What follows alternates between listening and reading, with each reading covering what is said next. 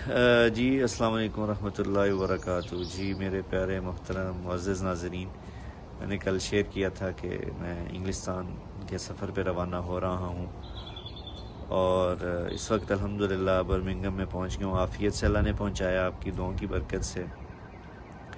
تو بس آپ سے آپ کو اپڈیٹ کرنا یا بتانے کا مقصد صرف یہ ہے کہ آپ کی دعائیں چاہیے کہ جس مقصد کے لیے ہم نکلے ہیں، وہ خدمت خلق ہے۔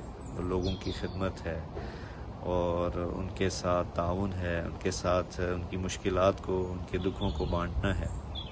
اس سلسلے میں اب بہت اہم ملاقاتیں ہیں دو تین اداروں سے۔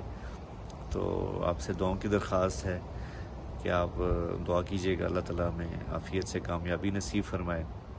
ابھی ہم برمنگم میں ہیں اور انشاءاللہ یہاں سے تھوڑی، ابھی میں تھوڑی دیر پہلے ہی برمنگم پہنچا ہوں اور تھوڑی دیر میں ہم یہاں ایک شہر ہے، ویک فیلڈ۔